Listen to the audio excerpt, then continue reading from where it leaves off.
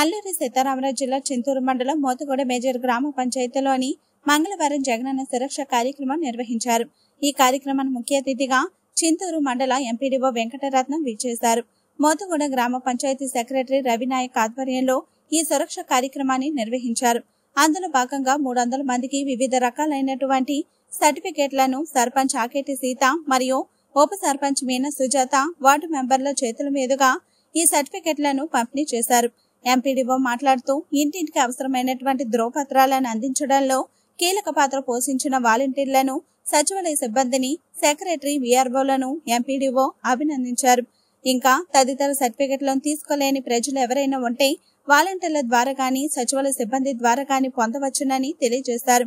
ఈ కార్యక్రమంలో వైఎస్ఆర్ పార్టీ కార్యకర్త నారాయణమూర్తి మంచిని శెట్టికృష్ణ వార్డు మెంబర్లు మల్లూరి రమాదేవి కోడ పార్వతి పెరుమాల దేవుడు కారం లక్ష్మి దేవ రాంబాబు ఏడు గ్రామాల నుంచి వచ్చిన ప్రజలు వాలంటీర్లు ఈ కార్యక్రమంలో పాల్గొన్నారు.